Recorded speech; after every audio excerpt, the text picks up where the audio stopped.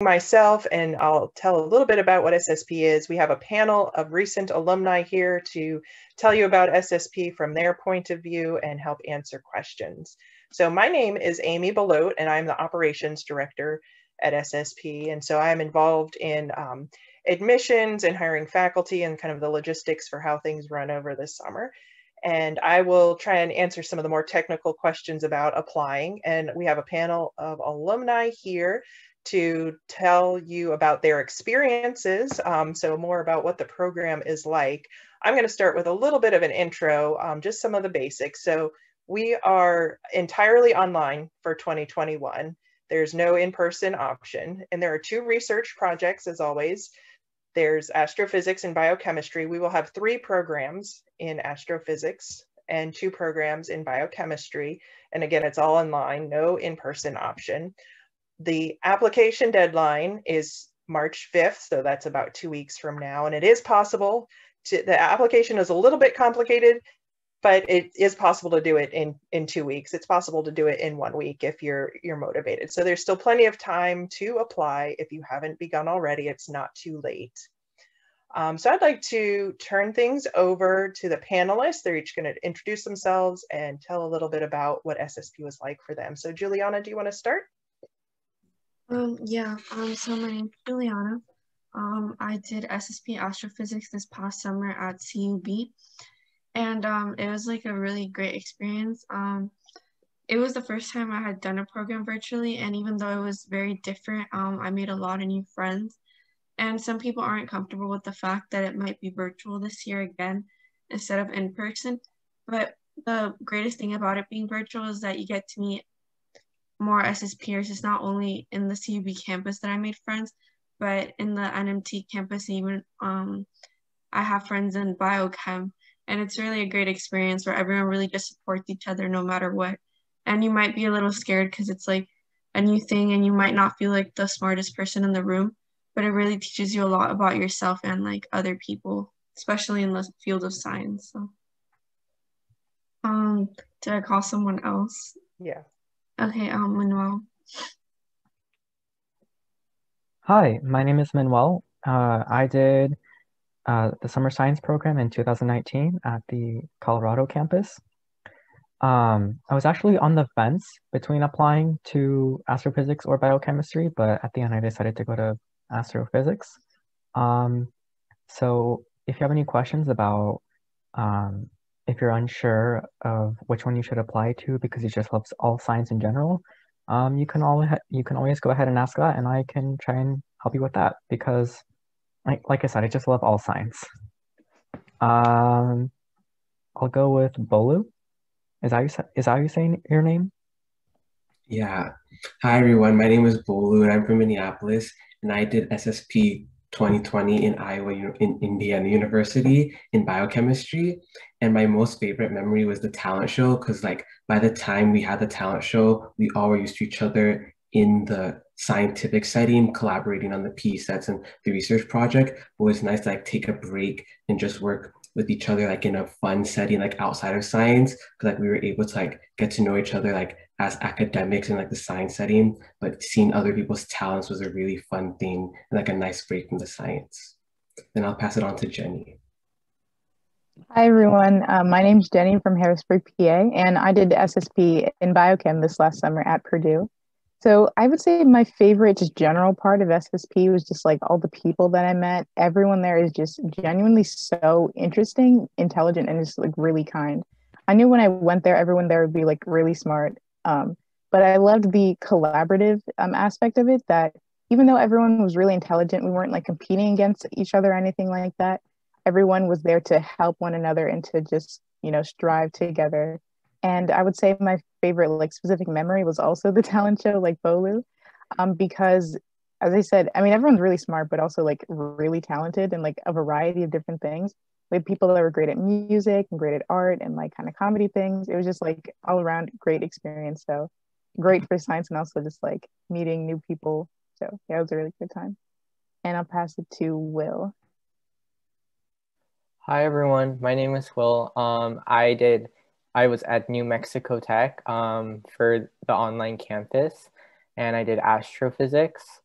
Um, I would say that my favorite part of SSP was probably, along with everyone else, the people. Um, I still uh, am in contact with several of my SSP friends, and we hang out um, online a lot. Um, I think a, a, really big part of SSP was um, the collaboration, not just with um, like the academics and just like the activities on campus, but also with the fact that even outside of the program, we connected on different projects that we were interested on different um, research opportunities, um, help with opportunities and uh, programs in other areas as well in general. Um, I think SSP is like a very welcoming community where a lot of people are super supportive of each other and they help each other with um, literally anything. And so that was a really, really, really um, great part of SSP, like the support system both during the program and after the program, especially with the alumni network. So I'll pass it on to Mateo. Hi, my name is Mateo. I'm from California and I attended SSP at the Indiana campus with Bolu this last summer. So I would say the thing that surprised me most about SSP was how down to earth everyone was. Everyone's obviously really smart, but they also have time to enjoy themselves and we all connect it wasn't just everyone studying all the time. Um, uh, another great thing about SSP for me, my favorite memory was the last night. It's a tradition to stay up the last night and just talk to people after you're done with your research paper. And I think me and only a few other people were actually able to survive the whole night. But it was a really fun time to kind of finish off SS, SSP. All right, thank you everyone. And I'm sure we'll come up with a lot, uh, many more questions. If you are attending the webinar uh, and want to put a question either in the chat or in the Q&A box, you're welcome to do that. Um, we do have a question in the chat, and while you all are um, thinking about your answers to that question, before we get to that, I'm going to answer some of the questions that came in at registration. Um, so the goals, someone asked about the goals of the program, and um, what the research project is about. So participants are not coming up with their own research project in these two topic areas. The, the project is, um, is, is laid out, but they are doing the work in terms of um, designing the, the experiments and the protocols. There is work to be done to learn about the academic concepts that underlie the entire project. And then they, the participants do research from beginning to end. And being online, it does remove that hands-on data collection. So the people in biochemistry were not in the lab uh, using pipettes as they would have been in person, but that's really the only component that was missing. There's a lot to research other than just that point of data collection. So there was all the experiment design beforehand, all the analysis that happened after, and in the five weeks, um, the participants go from beginning to end in the research project. They work collaboratively in teams of three with help from the TAs and the faculty. And at the end, there's a, a research paper, a, a, report that's written. It's not original research that's going to be published for each team individually because it's all part of this larger project. But the goal of the program is not so much to train astrophysicists or train biochemists is to provide an uh, immersion into research. In high school, you're learning about science. At SSP, you're doing science. You're doing the experiments and learning about a, that whole process and learning about working in a team. So it's not about getting the best grade. It's about uh, learning to work together in a challenging environment. And SSP is intentionally difficult. We give you more work than you can possibly do by yourself in the time frame allowed but you don't have to do it yourself. You have your teammates to count on everyone else in your program. You have tas who are supporting you and you have the faculty who are there to help. So it's it's supposed to be hard but it's also supposed to be um, in a, an environment that allows you to do hard things.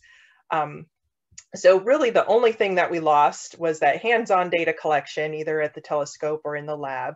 And we didn't do any field trips online. We're thinking about whether a virtual field trip might be possible, but we maintained everything else that's part of SSP, guest speakers, the talent show, as a couple people mentioned, the structure of working in teams of three, um, interacting with the TAs. There's social time built in with the TAs. So it's not just learn uh, in a lecture, do your homework, and that's it. There's a lot more to it than that.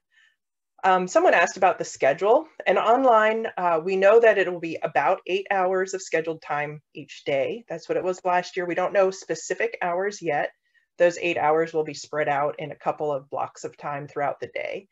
Um, and we ask that participants not have other commitments. Um, you shouldn't also be taking a class or also be working. Um, it might be possible, you know, to squeeze some time in, but it really kind of maxes out your day with that eight scheduled hours and then whatever other work you need to do on the side. Um, and one other question before we go over to the uh, alumni panel. Uh, someone asked about how faculty are selected to participate in the program. Most of our faculty return year after year. And when we have new faculty, it's often just by word of mouth. Someone knows someone who would, another faculty person who would be a good fit to teach at SSP. It's really a unique program. It takes a lot out of faculty. It takes a lot out of everyone who participates. It's very intense. So it requires a, a certain type of person who wants to teach in this environment and can dedicate that uh, time for five and five weeks in the summer to do only SSP. So on our website, you can see the list of faculty from last year. There are a few new fa faculty people, but um, most of everyone who was there last year mostly is coming back. So um, you can see who those people are. And we are always looking for new faculty, but it's uh, not quite as easy as just putting out a, a, you know, a job notice. It does take a special kind of person. So word of mouth is really how we have found most of our faculty. All right, so I'm going to pause and turn it over to the panel. Uh, the question in the chat that came through was, what was the most perspective shifting experience you had at SSP? And also, what was your favorite experience with mentors and professors? So I go ahead and take a stab at both of those questions or just one of them. Uh, well, I think SSP overall was very perspective shifting. Um, because before SSP, I didn't really know what I wanted to do in college in my free time, just outside of class. But then I discovered that research is what I really want to do, and it's real. I really enjoy it, and I'm really focusing on which colleges allow me to pursue research. And I think in that manner, it allowed me to find what I wanted to do. Um, what was my favorite experience with mentors or professors? I would say at night, sometimes we would have we'd have some free time when we'd finish our work and then we could just play games with them. And I mean, they're all pretty young, uh, like right out of college, so we can still like talk to them and have fun with them. And I think that's really great.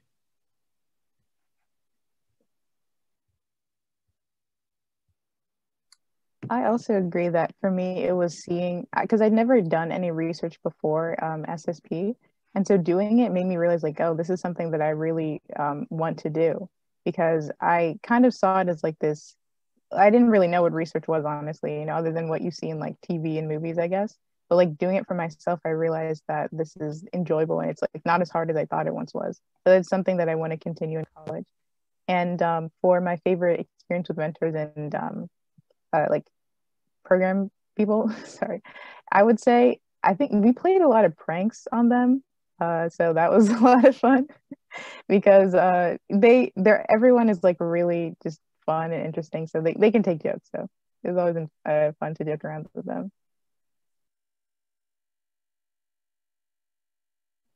I'd probably say like the most perspective shifting experience was like just struggling through like the problem sets and like the problems we were like going through while we were working. Cause like in like your normal science classes, like sometimes you might not have like the same struggle as like in a real world research project. Like in this project, like we had to struggle through problems. We came up, like work with our teammates because we worked in our group of three, like just working together with them and also with the mentors and the professors, like working with them through the problems was really like perspective shifting. Uh, this might be obvious to some people, but it kind of wasn't to me. Um, I remember at SSP, I was just really intimidated at first because there were some kids who had taken like Calc 3 um, before coming. There was one who was doing a side project with Fourier transforms. Um, you know, like I could go on about how smart a lot of these kids were. And I, I was just really intimidated by that because like I had taken Calc AB before coming to SSP um, which at my school was like, whoa, you're taking calc.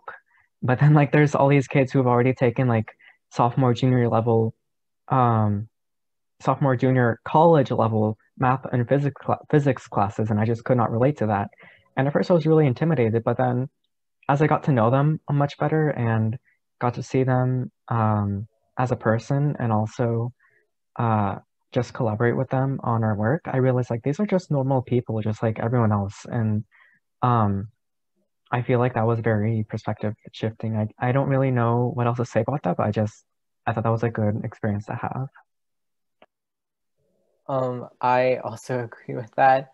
I think a lot of the people at SSP are really good at what they do, and um, it's very like I was very awestruck by like how much experience a lot of people had in like math and science prior to SSP. Um, but the fact still remained that um, most people didn't or weren't able to do, including me, weren't able to do the problem sets by ourselves. And so I really think that like um, emphasize the importance of like collaboration in SSP.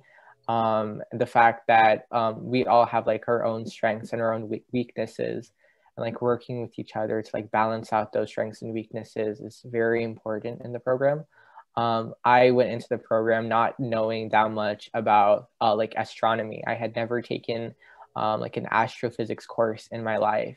And when I left the program, I um, knew a lot more about astrophysics. And so um, I think just in having the pro uh, being part of the program really changed the way that I saw um, like being good at something. Um, lots of people like aren't good at something at the beginning, but um, when you get help from someone else and like support, um, I think it means a lot more than people think it does at the beginning.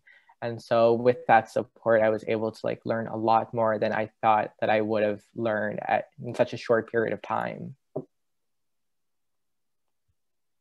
And also, sorry, um, my favorite experience with um, the mentors and the professors was just um, we would have like uh, breakout room conversations um, during our work play um, blocks. And so we would um, like talk about a bunch of random things like from politics to science and like debate and stuff like that. and also the support that they gave us.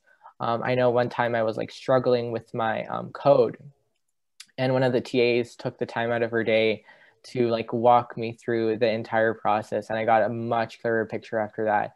And so there's a lot of like personal attention too if you need it. Um, people aren't um, or at the beginning people might be a little bit shy to ask for help but by the um, like the middle of the program everybody was asking for help and it's something that's really encouraged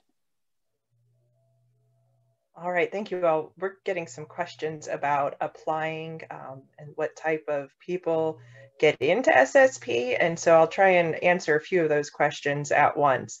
So um, all, the, all of our panelists have gotten into SSP, but a lot of people who get into SSP aren't sure why. You know, they, they were certainly qualified to be there, but what is that, what is that something that we're looking for? And a lot of it boils down to kind of the, the vague answer, and you'll hear this in colleges too, it's about fit um, our admissions committee is looking for people who are a good fit for SSP and SSP is a good fit for them. So you do not have to have qualifications beyond having met the prerequisite. So calc or physics if you're a junior applying to astrophysics, chemistry and biology if you're a junior applying to biology and being strong in algebra. So if you have met that basic coursework and you have some interest in science um, and, and learning in general, kind of learning for the sake of learning. If you have curiosity and a desire to learn, that is adequate preparation for going into SSP. You don't have to have uh, physics, I mean, astrophysics specifically. You don't have to have uh, done lab work in biochemistry. You don't have to have done research before we want people to come in who are ready for this experience, not necessarily who've already had this experience. So as long as you've met the class prerequisites and you want, if it sounds exciting to you, you love science, that's the type of person we're looking for. So it's really, uh, it is quite a subjective application process. You get to write essays, uh, short answers about whatever you want. Basically, we have very broad questions and you can demonstrate really anything about yourself that shows your love for science and your love for learning. Um, so applications are reviewed holistically. So we do ask for test scores if you have taken them. People get very hung up on test scores, and it's really probably the, the most boring part of uh, your application. Uh, we do ask for transcripts from your school, and that kind of lays the groundwork for where you are academically. But beyond that, your teacher recommendations, or who it could be any two adults really. We realize that this year, if you have online school, you might not really know your teachers. So asking a former teacher or some other mentor or coach is fine.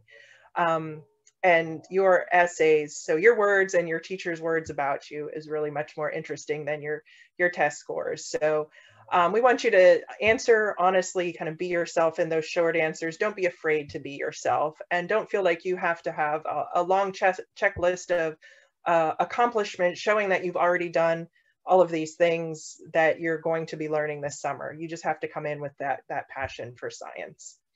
Um, one person asked about um, how did you decide whether to apply to astro or biochem? Did any of you, were, eh, was anyone on the fence? And you, can you talk about how did you decide? Go ahead and uh, how, did, how did you make that choice of which program, which project to apply to? Uh, so for me, it came down to having a bit more experience with biochem, just because at my high school, um, all freshmen have to take biology and all sophomores have to take chemistry. And so I already had like a little bit of experience with, uh, sorry, I, I'm, I got something in my throat. Um, I already had a, sorry, I already had a little bit of experience with biology and chemistry.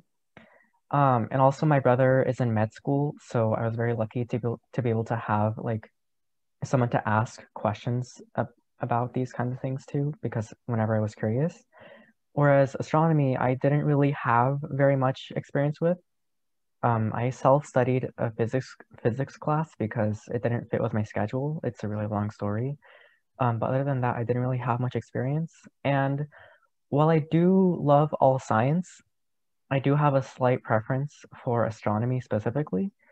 Um, but with that being said, for me, it was an option of, okay, do I want to have like my first experience with astronomy or do I want to go even more in depth with biochemistry?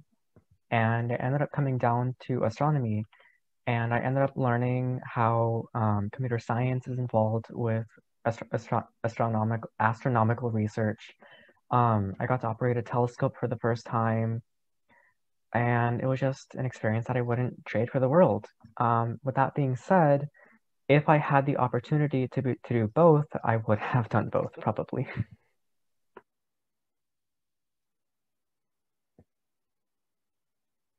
Um, I can add on something really quick. Um, when I was applying, I also did not know whether to um, do astrophysics or biochemistry because I had experience with neither. Um, but I was in um, both a an AP chemistry class and a physics E class. So I kind of had like the perspective of kind of like the directions of either and both. Um, it came down to the fact that my um, physics teacher was actually offering like an after class um, an after class program where he would be like teaching a few concepts about radio astronomy and so I decided to check that out. And because of that, it kind of convinced me to go toward the astrophysics direction. Um, that in addition to the fact that I did not really have any experience with like the um, the processes we would use in astrophysics, um, like the campus. So I didn't really know that much about astronomy in the first place, and I didn't have that much of a background in computer science, and I was looking for a challenge. So I decided to go to for the astrophysics route. And um, I don't regret choosing astrophysics, but if I could do SSP again, I'd love to try out biochemistry. Yeah, I think most people who do SSP wish they could do SSP again, but it's uh, it's a one-shot deal, so you do have to make that astro or biochem decision up front. Um, and I, I think I like that you both po pointed out that you went, you applied to where you had a little less experience or you didn't really have experience in either one. So you don't need to already be an expert in that field. Um, well, I think you said you want you were looking for a challenge. So people who are applying and perhaps you've done uh, a lot of work in biochemistry, but astrophysics is new and you can dem- you can kind of talk about how you want to try something new and kind of expand um, your experiences, that's a perfectly legitimate thing to put in your application. Um, let's shift gears a little bit. There's a question remaining about, it's a, it's a big question. What was it like to do SSP online? So um, if you want to take a, a, stab at that, uh, we can answer that in big ways and small ways um, about the workload overall, what the pace of your day was like, what the pace of the five weeks was like, or however you want to uh, tackle that question. What was SSP online like for you?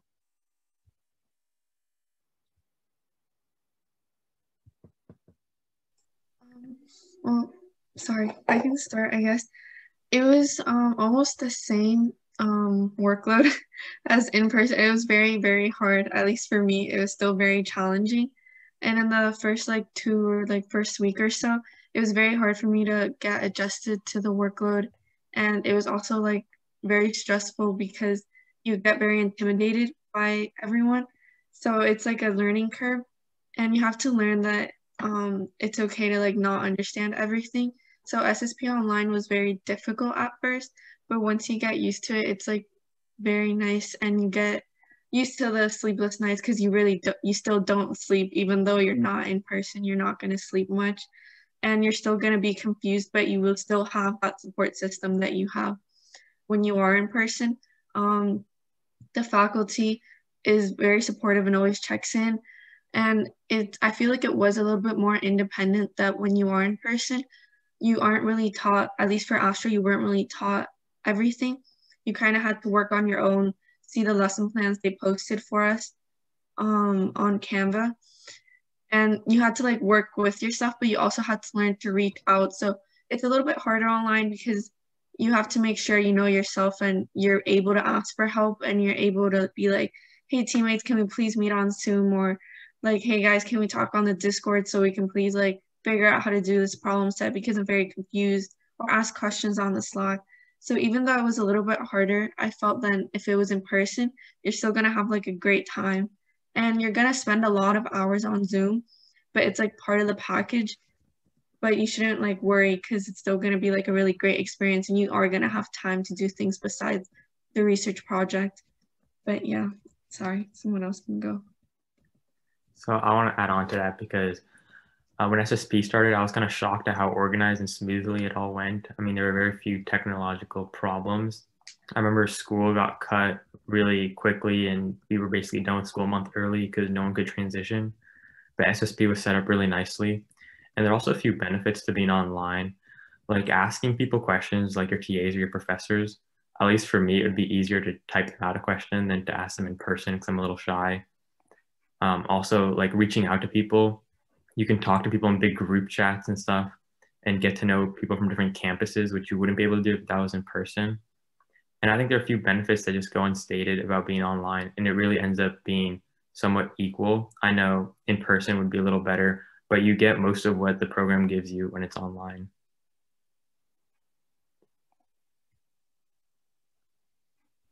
And like to add a little bit more to that like we still able to like form the authentic relationships with each other because like I was super surprised because like usually the way Zooms have been going, like there's a lot of awkward silence and people don't talk. But like even the first day, like everyone just like we had like the chemistry and like we all were able to like still keep conversations going on in Zoom and like still connect with each other like inside our work period, like even outside like after our scheduled hours, we still were able to like communicate and like work on our projects and also like play games with each other.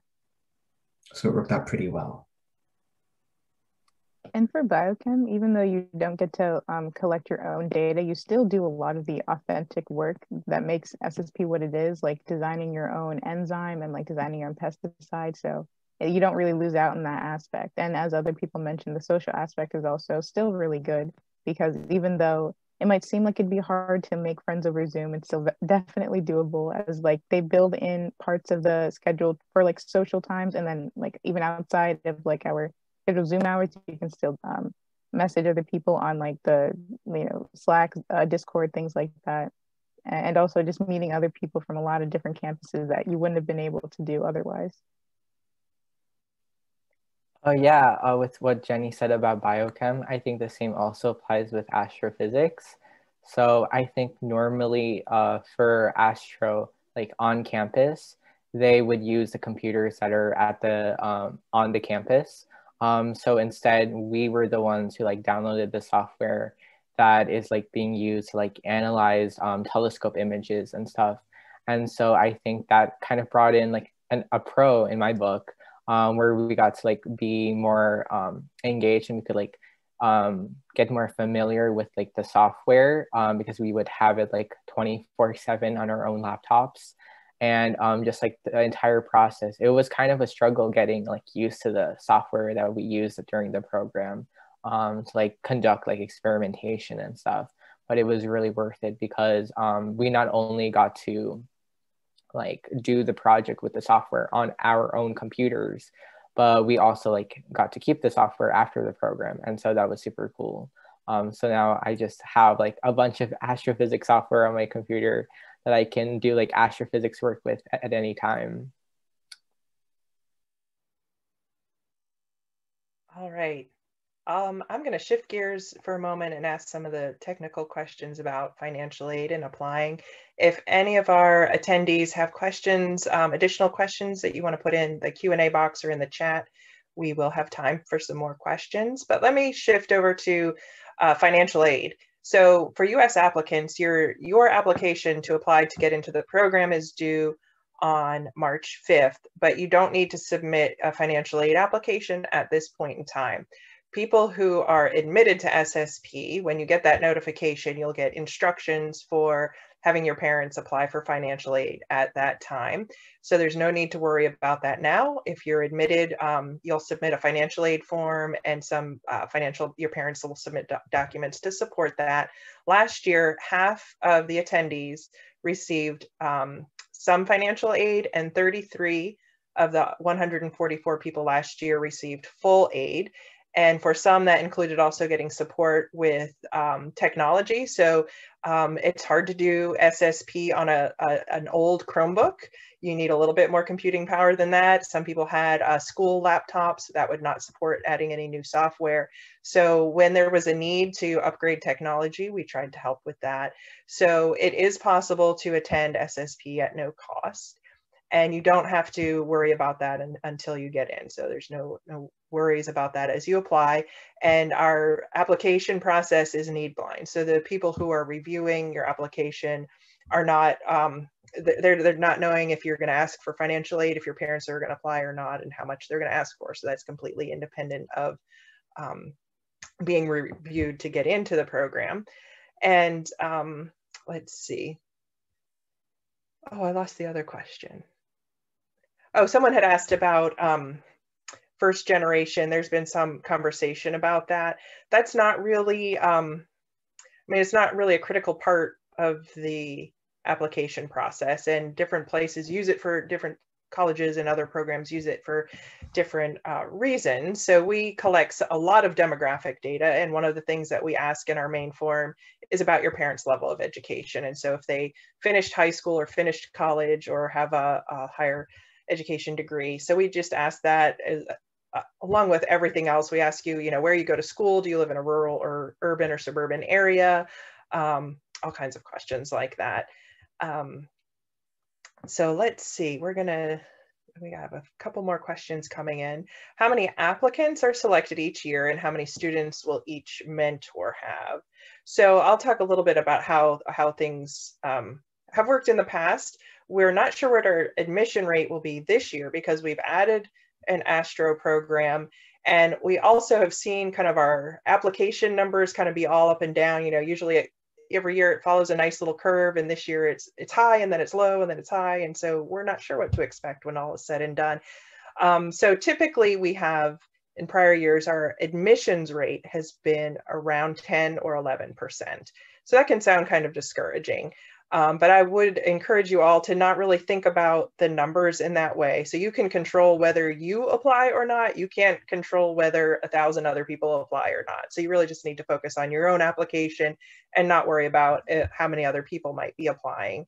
Um, so each program has 36 participants. So a program is um, a, a, project on a campus and we're going to still use the word campus even though we're not actually going to any of these places. We use that to to call we'd have to to group people and call them something anyway. So we're still using those campus terms. So you'll be assigned to a campus and our third astro program doesn't quite have a name yet. It's not pinned to a location. So we'll come up with some name for the that third campus. So you have 36 participants and we do try and make a good uh, mix of participants within that 36. So we're not going to put all of the computer experts, computer science people in one and all the physics people in the other. And we're going to try and blend everyone in. So there's diversity in academic skills, there's diversity in where you are from in the country or in the world. Um, and we try and make a, a good um, mix within each of those 36. Each program has four TAs, so teaching assistants, and those are current or recent grads from college or currently in college. And then there will be three senior faculty, so two academic directors, a, a, an academic director and associate, and then a site director who's kind of in, in charge of logistics and making sure everyone is where they need to be in the schedule and everyone's feeling okay and going along and not getting too overwhelmed.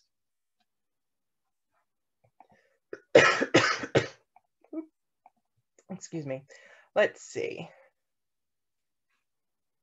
Um, I don't see any other new questions coming in. Uh, panelists, do any of you have anything that you want to add, either a question that you answered in the, the Q&A box? Is there anything you want to expand on, Will? Um, yeah, so I accidentally um, answered the question in the chat before I could answer it live. Um, but someone did ask um, if uh, we could if we would recommend SSP for someone who is not sure they will pursue a career in STEM. Um, so I answered it in the text, but I'd like to like um, kind of mm-hmm. elaborate live. Um, so I personally personally was not sure if I wanted to pursue a career in STEM before the program. Um, I've always been kind of like a STEM and humanities kind of guy. So um, I applied anyway, and I'm really glad that I did because um, I'm still not 100% sure if I do want to pursue a career in STEM, but I do know that whatever I do like pursue, there has to be like some sort of um, link to the skills that I learned through SSP, um, like the analytical skills, the le leadership skills, um, just like determination and perseverance in general. They apply to really anything. Um, and so whatever skills I learned in SSP, I'm sure that I'll be using them in whatever I decide to pursue. Um, in addition, for anyone who um, might be interested in science, but doesn't know like what uh, type of science they want to do, um, I highly encourage you to try SSP.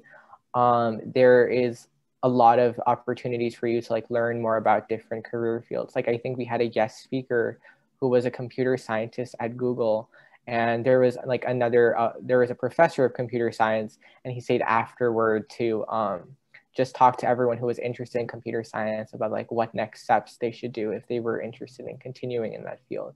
So there's so many opportunities to like learn whether science um, is something you want to pursue. And if you do want to pursue science, like what specific field in science you do want to pursue. Lots of resources. And I would add to that, um, we have quite an extensive alumni network. So SSP has been in, in operation since 1959 and we have alumni from all of those years from 1959 to 2000 and um, not everyone has gone into science. So there's many alumni who are still active in ssp um, whether it's on the board of trustees or on a committee or uh, involved in other ways who are uh, not in STEM now at all for their career. We have several lawyers, we have people in finance and business, um, and all types of sciences. So some people have gone into research, some people have gone into uh, medical careers. Um, and so there's some people are school teachers. So there's really, um, it, it's not a requirement. You don't have to know that you want to have a, a career in STEM when you go to SSP. It will inform your decision. So I think you'll come out of SSP knowing that you do want definitely want to pursue a career in research or maybe you don't and that's okay so there's there's no commitment beforehand that you you have to know that this is what you want to do it's kind of a good testing point to to figure out if doing research and doing science is for you or not and if it's not then that's completely fine and you are still a part of the SSP family and you are still welcome to be, you know, an active and involved uh, alumni, even if you do not go into a STEM field. And we also, we do have guest speakers from all kinds of sciences and some of the biochemistry the biochemistry programs got to hear from people doing research on Mars, and we try and open it up so you're not hearing just about what you're um, you're studying and doing research on, but we want to give you kind of a broad um, view of lots of different careers that are interesting. And uh, some of our guest speakers are alumni and some are not. We had one person who is um, She's been a guest speaker for both projects for a few years. She coordinates and plans like the, the New York City transit system. So she's um, she's not in STEM. I guess it's, it's, perhaps a little bit related to, to science maybe, but she's in this kind of logistics and public transportation field and she's a, a great speaker. So there's um, a lot of room for learning in a lot of different fields. Also, something that I just wanted to add um, I've also been a very heavy science and humanities person. Um, like for instance, uh, right now I'm on a gap year, but last year, my senior year, I did dual enrollment and I took music history, anthropology, ethics, and physics one throughout my two gap throughout my two um, semesters of dual enrollment. And like that's only one natural science and one like social science there. Um, so you won't be alone in that. There were a lot of people there who were um, both STEM and humanity. There were most people were mostly with STEM, but um, the amount of people who were also inter- interested in humanities was pretty sizable. And also, SSP will give you a better idea of whether or not science is really for you. Like, for instance, there was one student who really loved astronomy, but realized that he hated computer science horribly. Um, so much so, so that his water bottle ended ended up getting dented because of it.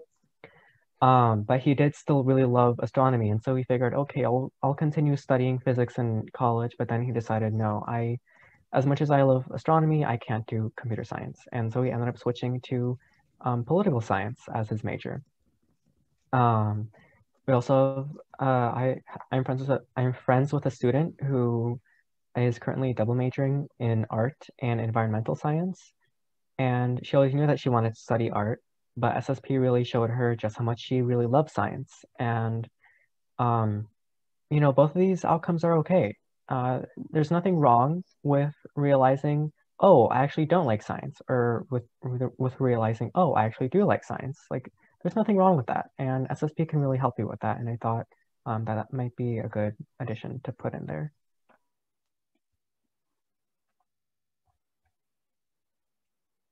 Okay, we have a question about, um, I said earlier that since this is a group project, it's that the SSP kind of owns the research. You cannot um, finish SSP and then publish your work, but there is an opportunity to go further. So your work at SSP can be the foundation for uh, you to take that research project further. Um, so it would be with the, the permission of your academic director and perhaps with their guidance, they um, you could go a step further and use your work at SSP to launch you in uh, a different direction or something added on to that project. And then that work that's your own can be uh, research that you do um, independently and that could possibly be uh, publishable. But we ask that everyone kind of just check in with your academic director uh, with questions about that, just so we're clear that uh, you're not violating any intellectual property rights or anything with that. Um, but there are opportunities. There are definitely alumni who have um, gone on and done further research after their time at SSP and have done really well with that. Um, there's also a question about getting in as an international applicant. Um, for some international applicants, um, it is a little bit um, harder to get in just because we have so many more applicants for, from China and India, especially. And we say that on our website. We get a ton of applicants. We could fill the entire um, SSP each summer with just India and China, but we're not going to do that because we want the program to be diverse. So we do um, kind of intentionally limit any particular group. So we're not going to admit everyone from one country and then omit uh, not admit people from other countries. So we do try and um, have a balanced and diverse group. So um, other than India and China, it's about the same. So if you're applying from any other country, your chances of getting in, the admission rate is similar to what it is for US applicants. And someone asked about um, SAT scores. Um, if you have an SAT score, do you have to put in your additional PSAT or your prior PSAT score? If you have scores, we would like you to submit them. Um, if you don't have scores, especially with this past year, if your SAT was canceled um, or for any reason you weren't able to take SAT or ACT this year, it's no problem at all. We do not require that applicants take any particular test. test. We just ask that if you have taken the PSAT, SAT, ACT, or APs that you um, report those scores and send us the, for, the score reports, the unofficial score reports. Um, so yeah, there, I don't, I would ask you to submit your PSAT and your SAT. Um, if you don't, we won't know, but we hope that you'll, you know, give all the information that we've asked for. And I'd like to also just emphasize that if you don't have test scores or um, because of the, the situation this year with the pandemic, or if you're not worried that your scores aren't perfect and you're a little bit hesitant to share them, please do share them. It's we don't rank applicants on scores. Um, so it's it's really, you know, we, we ask for it, but we don't put a whole lot of emphasis on it. Let's see, what else do we have coming in through questions?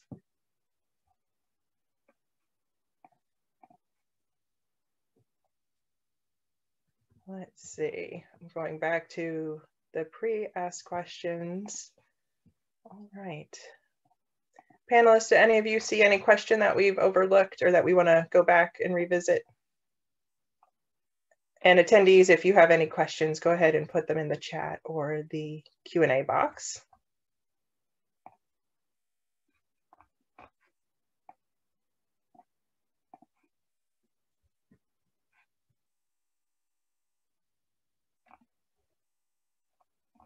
All right, I'm not seeing anything new.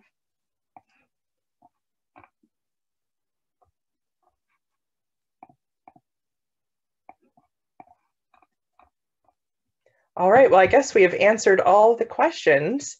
Um, do any of the panelists have anything that they'd like to uh, wrap up with? Um, anything that we overlooked or that you were hoping to share or any follow-up that you can give to anyone, any other answer that we or any other question that we've already come across? I guess I would like to emphasize, as you mentioned um, earlier in the webinar, the like even though I think the application is due in about two weeks from now, you definitely still have time because I, I just I did mine in less than two weeks and it was okay as long as you put in the effort. You know, you can do it. Mm-hmm. Yes. Yes, you can ask your teachers on Monday, ask two teachers or any two adults if they would um, write an evaluation for you.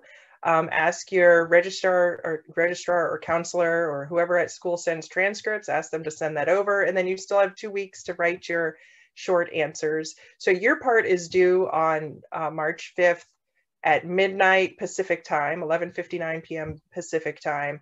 Um, we don't shut the application off at exactly that minute because I'm probably asleep. I might be asleep at would be for me at 3 a.m. So you might squeeze out an extra hour, a couple hours before we shut it off. If transcripts are still arriving for a few days after that deadline, that's okay. So if you ask for your transcript and evaluations this week and they haven't gotten there yet, we will still take them a few days after. So your deadline is March 5th. Your teachers have a few more days after that. So their, their deadline is a little bit more flexible. Um, so I would encourage, um, if you haven't started yet, it's not too late. The, the main form is kind of long, but it's all questions that you know the answer to, the name of your school and um, uh, all those other, you know, your, your parents' occupation and things like that. So that's uh, a long form, but simple answers. The short answers, really a lot of people stress and try and think about, well, what they, what they can best put in their short answers to get in, but it's really just be yourself. Juliana? Um, yeah, for the short answers, um, a lot of people think there's like specific things you need to write about. um, especially about like what do you like to do or what do you do in your free time or any topic you want to talk about. And it's really like just try to show like your passions for the things that you do. Like I applied to astrophysics, but I talked about mostly chemistry and my why um, one of my favorite topics that I like to learn about. And it you don't really have to show like only your interest for STEM if you have other interests. I talked about dancing and I talked about other activities that I do, but I made sure to also show why I'm so like passionate about wanting to do SSP and what that I really wanted to experience something else. Even though I'm not very passionate about physics, I was really interested in pursuing or like researching in astrophysics. So don't stress too much about what specific things you need to write about, but just try to be yourself and really show admissions like different parts of your personality and different things about yourself. And also um, for the last essay that you can write about different topics or you can choose one, it's always just good to like think about something you want to write about or that you show about yourself. Some people have like extraordinary circumstances that they want to talk about, but they aren't sure if they can. And if you have any of those, you are free to talk about those as well. Admissions is usually like really understanding about those things and it really lets them see like who you are and puts like the classes you've taken and the opportunities you have or haven't had into context. So it really helps like them see why you've done certain things or why you haven't done certain things. Yeah, it's really important to just be yourself. Um, the admissions committee, they want to know you as a person. Um, that just seeing a transcript and a, a resume or activities list is kind of everyone is kind of you know blends together after a while. But if you talk about something that's just specifically about you, a story from your childhood or something about your family or your school, um, and again, it doesn't have to be about STEM. There's places to talk about what else you like to do when you're not doing schoolwork. So let the, the real you shine through and that will be more memorable to the admissions people. So don't don't try and craft what they want to hear. Just let us hear what you're really interested in and what, what makes you you. We've had a couple more questions. Um, so this is something uh, Mateo wants to answer, but I'm sure you all can answer. Um, what is what's the SSP community like post SSP? And I'll start by saying that one of the silver linings for being online is maintaining that connection from participant to alumni. So usually when people are in person on campus, on departure day, everyone gets on the bus to go to the airport or gets in their car with their parent and everyone just goes back to home and then you're away from SSP. But when it was online, we found, I think a lot of the participants found that chatting and interacting online on the last day of SSP could kind of continue. There was a, a lot of spillover. So you could keep chatting with your friends um, and even with the, the TAs and the, the faculty after departure day, you could still be um, continuing those conversations online. And that's not to say that um, in-person groups haven't had online, communities and they do it's just you know it's it's a way to kind of build off of that in-person experience whereas this year it seemed to just really flow um, from my perspective. But what do you all think? What was the the community of ssp like after you left ssp so i really wanted to answer this question because i think post ssp um, is very underrated. I mean you make friends that i think now eight months after the program ended i can say they're long lasting friendships and I'll talk to people from SSP every day, and we have monthly reunions, and it's all great. And SSP also offers a lot of uh, opportunities after SSP.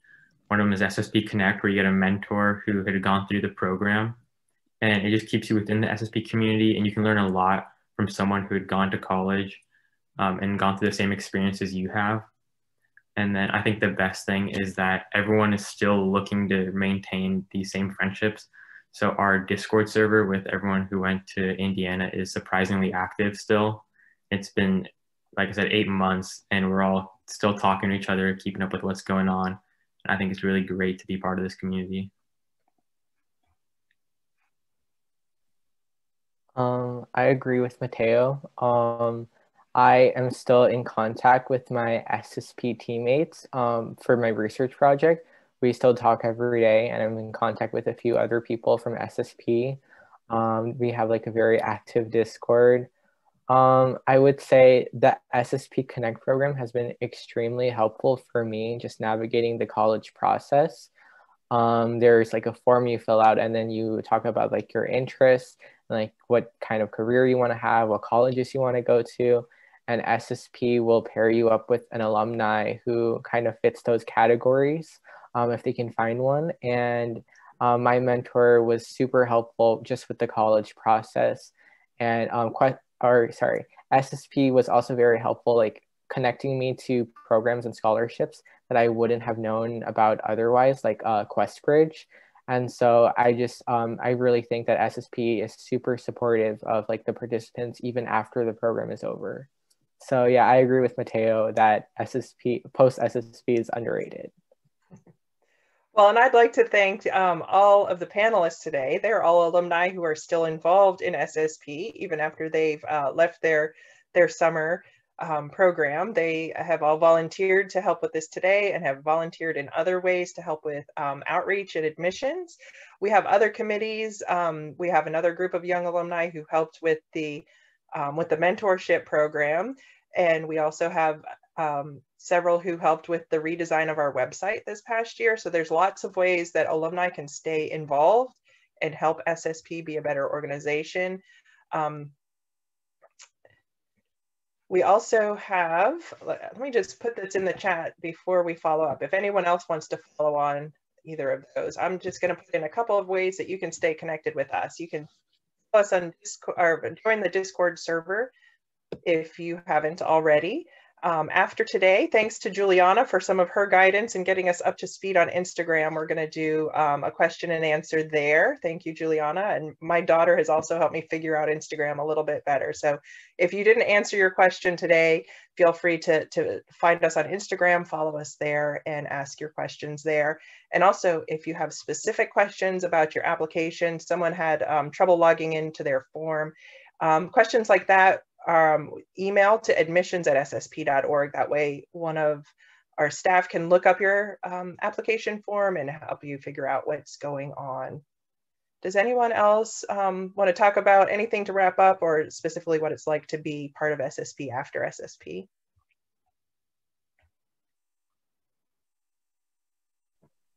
Uh, sure. Um, I'm probably just gonna parrot Mateo and Will, but I just wanted to emphasize that even though for me it's been a year and eight months since the program, that we also keep very much in touch. Um, and with the new uh, SSP admissions Discord server, um, we've also started uh, getting in touch with some of the people from the 2020 year. Um, yeah, it, same thing as Mateo and Will, but I just wanted to emphasize the longer time frame.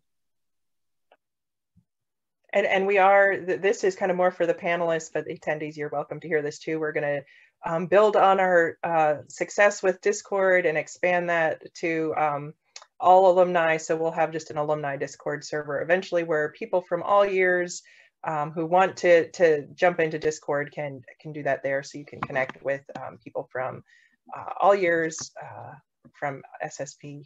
And also let me add that um, most of our TAs are SSP alumni. So that's a way that you panelists and applicants, you can think of staying involved in the future. About four years after you are a participant, you can come back to, TA, uh, to be a TA for SSP. So um, when I said you can't do it twice, you really can because you can come back and, and do SSP as a TA if you want to. So I hope that's in the back of everyone's mind. And that's just another way that our, our community stays connected. We do have TAs who are not alumni, but the majority this year will be um, SSP alumni. All right, well, we're about at the top of the hour and I don't see any new questions coming in. So I'd encourage everyone to um, ask additional questions on Discord or later today on Instagram or email admissions at ssp.org. And I would like to thank all six of the panelists. You have all done a great job in sharing your experiences. And I know that the um, attendees like to hear directly from you um, what it was like to, to attend SSP. So I thank each of you for your time today and for sharing your thoughts. And with that, we will uh, close out the webinar. Thank you all and thank all the attendees uh, for your participation today as well. Bye-bye.